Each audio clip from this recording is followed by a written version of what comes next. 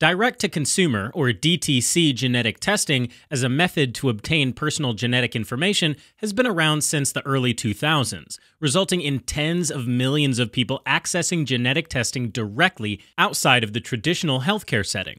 Since a leading motivation for testing is to obtain health information, many share their DTC results with their healthcare providers.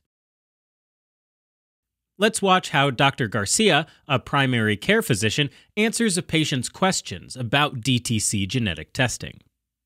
Doc, I took one of those at home genetic tests and would like your take on what the results mean for my health. Yes, of course. But before we look at your results, can you tell me why you did the test? Sure, I was interested in knowing what health conditions I'm at risk for.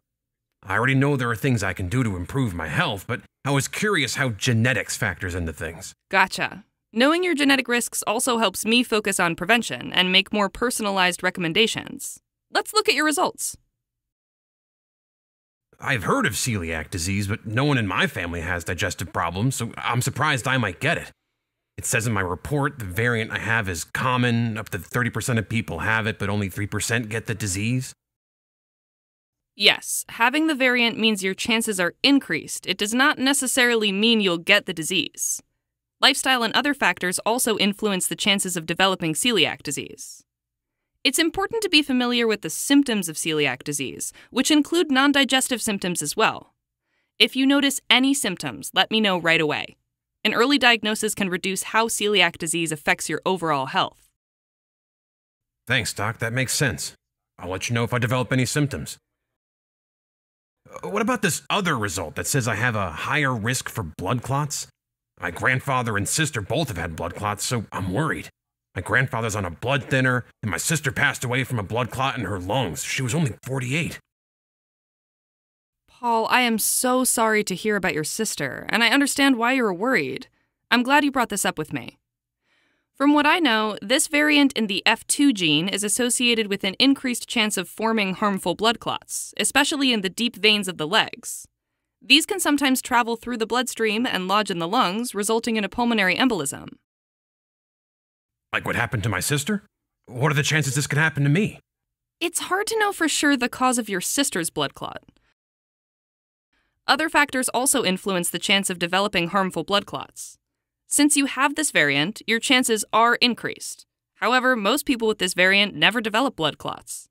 I'm worried. Is there anything I can do? Yes, there are things you can do, such as eating a healthy diet, exercising regularly, and avoiding long periods of inactivity. Because you have this variant and a family history of blood clots, I'd like you to see a hematologist who can talk more about your risks and any additional preventive actions we should consider. They may also confirm the DTC genetic test result. I'm glad there are things I can do. Now I have even more reasons to lose weight and live a healthier lifestyle. I'll make a note in your chart so your other healthcare providers are aware of your risks. I'll also update your family history. Again, I'm sorry for the loss of your sister. Thanks. What about the rest of my family? Good point. Since variants are inherited, other family members could be at increased risk for celiac disease and blood clots. It's important to let them know so they can discuss it with their healthcare providers and consider genetic testing. I'll be sure to let everyone in my family know. Thanks, Doc, for explaining everything to me. Although it's hard to hear about my health risks, I'm glad there are things I can do to take care of myself and stay healthy. Yes, genetics is an important part of the picture, but there are definitely things you can do. I'm glad you shared your DTC results with me.